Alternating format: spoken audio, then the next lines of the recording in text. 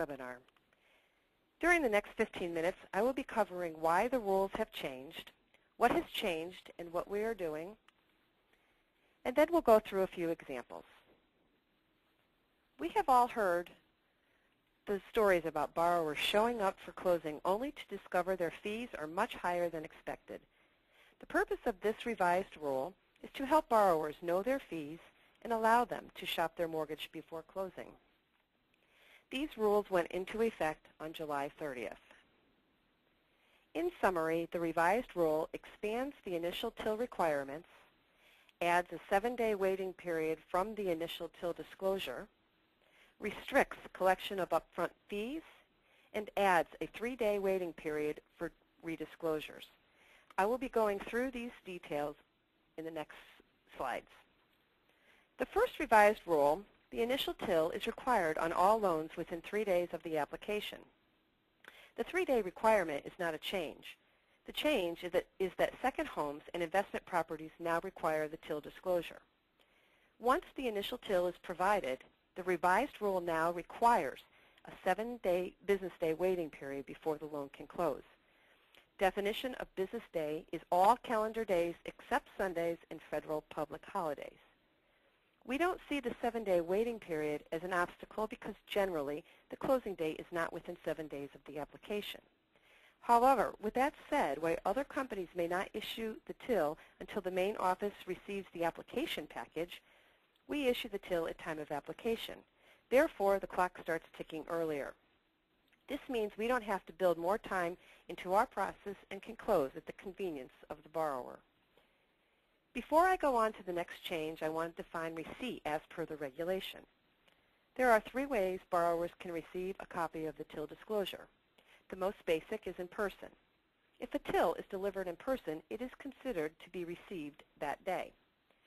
But if a TIL disclosure is mailed via the U.S. postal system, the regulation says that the postal system needs three business days for the borrower to receive the disclosure. This is referred to as the mailing rule. Now, we know it doesn't necessarily take three days for a letter mailed from our office in New Britain to reach one of our customers who lives in New Britain, but that is the regulation. The third way a borrower can receive the disclosure is email.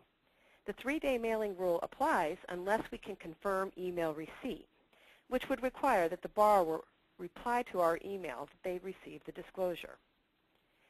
Since confirmed receipt is what starts the clock ticking on the required waiting periods, our solution to delivering and receiving TIL disclosures is to obtain email addresses for all of our borrowers.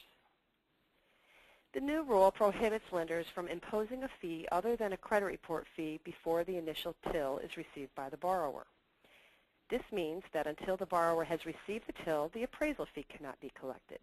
For instance, if the application is taken over the phone and the initial TIL is mailed, the three-day mailing rule applies and the appraisal fee cannot be collected until the fourth day. If you are concerned about quick appraisal ordering, we have the solution. We issue the TIL disclosure at time of mortgage application. Therefore, we can collect the appraisal fee, and there's no delay in ordering the appraisal. The new rule now requires a redisclosure if the initial TIL APR changes by more than one-eighth. Once redisclosed, the closing cannot occur until three business days after the borrower has received the redisclosure. Again, received is defined by actual receipt.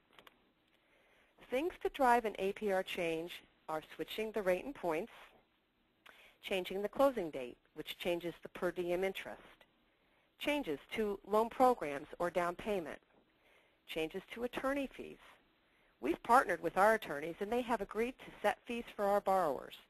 But if a borrower chooses to use their own attorney, it's really important that borrowers know the fees associated with their own represent own representation at time of application to prevent a delayed closing. Other fees such as closing, underwriting, processing, courier fees, we also have fixed fees. That means there are no changes or surprises on the HUD-1 when the borrower is ready to close. Although the regulation allows waivers on the waiting period if there is a bona fide personal financial emergency, at this time we are not accepting waivers. According to the mortgage banker's attorneys, the bar has been set real high on what is considered personal financial emergency. The example used was the seller of the property would go into foreclosure if the closing did not occur. Now, we can make this easier. We have a solution, but first, let's do a few examples. I'm going to illustrate the dates for October, and then together we will go through the month of September. In October, this application is taken on Monday, October 5th, and the contract closing date is Friday, October 30th. So let's first look at the seven-day rule. That's the rule that shows the loan cannot close until seven business days after the initial TIL. That would bring us to October 14th as the earliest date the loan can close. Now we're chugging along through the month and the borrower decides that they want to pay more points to lower their rate. If we can confirm receipt of the redisclosure via email, the last possible date to redisclose and still close on the contract closing date of October 30th would be October 27th. However, remember that if we can't confirm receipt, we would have to disclose by Friday, October 23rd. The three-day mailing rule applies, and then we have to wait the three-day waiting period. If we are redisclosing on the 28th or the 29th, the closing will be postponed. So let's do another example using September. This is a quick closing. The application and the initial TIL is provided to the borrower on Wednesday, September 2nd. So the question is, when is the earliest date the loan can close? I'm going to give you a minute before I reveal the answer.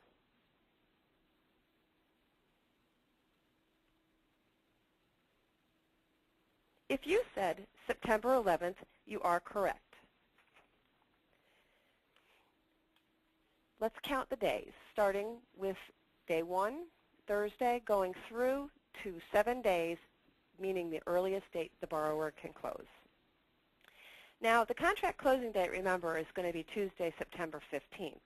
So if we can confirm receipt, the latest date that we can redisclose the TIL is also on September 11th. If we cannot confirm receipt of the redisclosure, the latest date to redisclose would be on Tuesday, September 8th. If we are redisclosing on September 14th, the closing is now going to be delayed. We've developed a slide calendar to assist in determining the latest dates for the initial truth in lending disclosures. We know it can be confusing, and we wanted to come up with a tool that would simplify the dates. This calendar does take into consideration Sundays and holidays. Our McCue reps have these available for you, and they will be happy to provide you with one if you so desire. We wanted to come up with something, again, that would simplify this complicated process. The insert is for 2009, and our reps will be coming around in December with 2010 inserts. So in closing, we are aware that these changes seem complicated and for many may be concerning.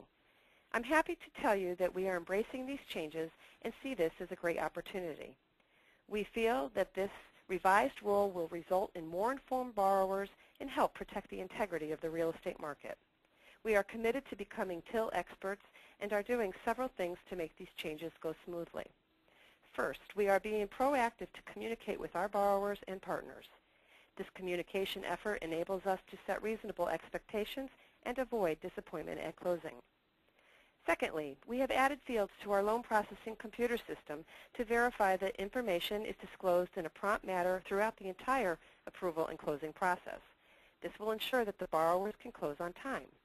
As you can see, accurately tracking TIL-related dates is a very important part of the change. By embracing these changes, we feel this will set ourselves above our competitors by ensuring that the closing will happen on time. If you have any questions, please contact your McCue rep. They can answer your questions and will be happy to provide the slide calendar to you to simplify this complicated change. We thank you for attending our Truth in Lending Changes webinar and we ask for your continued support.